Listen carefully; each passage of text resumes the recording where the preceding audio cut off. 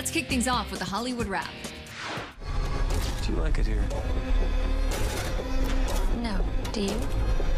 I hate it. It's another big week for big movie releases straight to video on demand for us to watch at home. That includes the new thriller You Should Have Left, starring Kevin Bacon and Amanda Seyfried as a couple being terrorized by a haunted house. It's available now. What do you want? The story no one is talking about.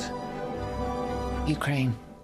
Stalin's gold. Also new is Mr. Jones, based on a true story about a journalist who uncovers the horrors of Stalin's Soviet Union. It stars James Norton and The Crown's Vanessa Kirby and is also out now on VOD. Several men attacked our cockpit. We stopped them for now.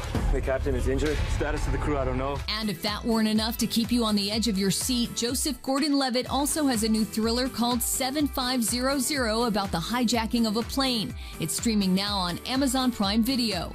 As more sports begin to return, this weekend ESPN is celebrating the best in athletics from last year. The ESPY Awards will be a virtual ceremony hosted by Megan Rapinoe, Russell Wilson, and Sue Bird. See who wins June 21st on ESPN.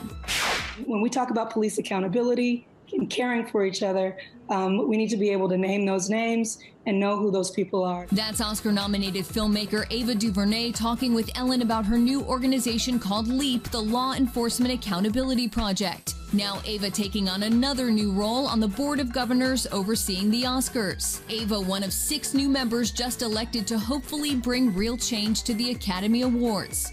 The police want what they want, they will do anything. Speaking of awards, Ava's powerful Netflix miniseries When They See Us among the winners just announced by the Peabody Awards. Other winners include Succession, Watchmen, and Surviving R. Kelly. And that's today's Hollywood Wrap.